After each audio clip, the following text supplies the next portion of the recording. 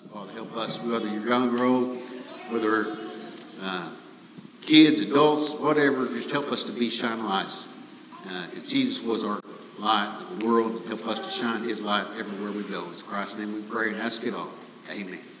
All right, go back to Children's Bible Hour, back to with your family.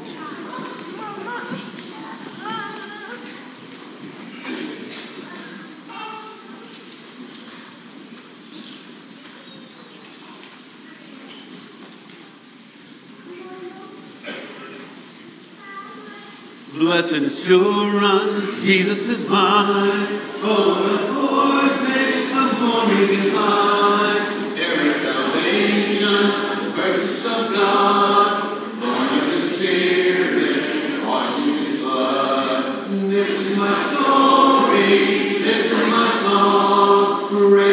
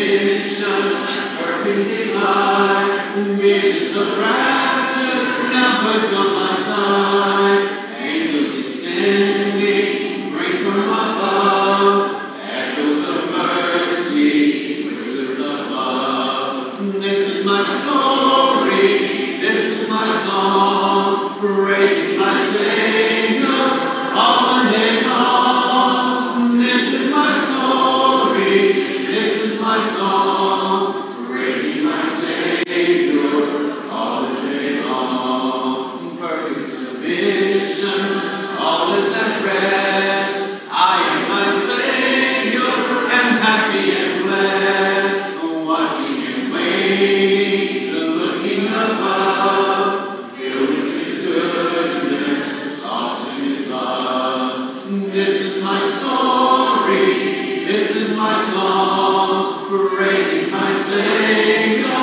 All the day long. This is my story, this is my song,